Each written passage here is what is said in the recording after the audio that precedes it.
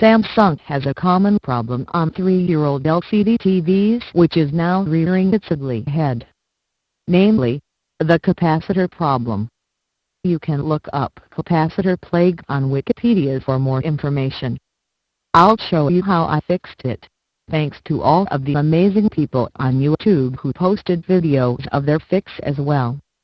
Here is the back of my TV. It is a 40-inch Samsung LCD model number LNT4061FX-XAC. It was manufactured around 2006 but we bought it in 2007. The TV started having a slow power-up as early as 2009 but it didn't become a huge delay until recently. Now it can't take up to 5 minutes for the TV to power up, with repeated clicking sounds of the red light being heard. Many people have complained of the same problem and it is all over the internet. After checking these symptoms online I found a number of excellent YouTube videos explaining the problem I wanted to share my experience so that others can fix it as well. It takes only a few minutes and costs less than $5. You do need some basic electronic soldering experience. I took the back off the TV. All you need is a regular screwdriver. Unlike some other models, my TV model has no wires attached to the back so you can just remove it easily. Zooming in we see the power supply. Notice the top right corner which is where all of the faulty capacitors tend to have been found. Zooming in further, just as suspected we have two capacitors with black marks on top. These are not Sharpie pen marks. It is burned leaked electrolytic fluid. If you continue to use the TV eventually these capacitors will pop and damage the rest of the set so it is best that they be replaced now. Have a look here. You can see the two faulty capacitors next to the other two normal capacitors. The normal capacitors have flat tops and no black marks. At different angles you can see the bad capacitors are bulging on top. They definitely look rounded on top and have black marks showing they have leaked electrolytic fluid. I took a picture of the board connections so I'd remember where to put the wires back. Here is a tip for you. Take photos of everything along each step of the way so you can remember how everything was connected.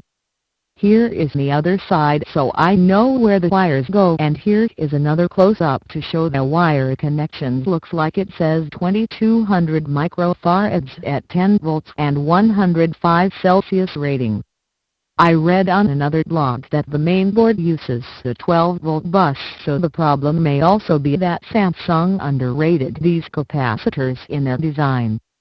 After taking the power board off, you can look on the back and see where they are soldered on. They are attached at position CM852 and CM853. Just make sure you remember the polarity. The side of the capacitor with the stripe that says minus goes to the minus part, and the other side goes to the plus. Here are the bad capacitors after desoldering so I went to the store and they recommended these replacements. As with most of the tutorials and videos online, everyone suggests to increase the voltage but otherwise keep all the other specifications the same. In this case, I got 2200 microfarads with 105 Celsius rating but instead of 10 volts I went up to 25 volts. Some recommend choosing low ESR type capacitors, but my local electronics supply shop couldn't find them. They also had smaller 16 volt but they were only rated at 85 Celsius.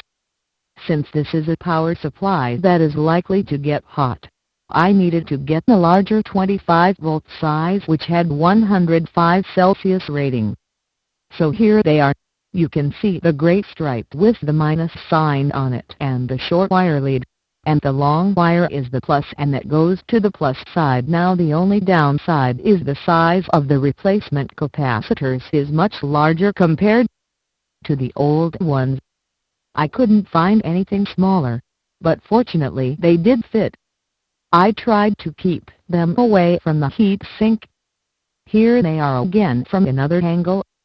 My soldering job is not perfect, but it got the job done.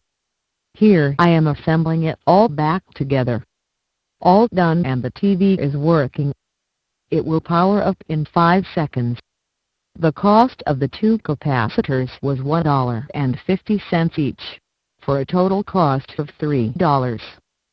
Samsung does not want to fix these because it would cost them way more. However the whole experience and poor support from Samsung means I will never buy Samsung again.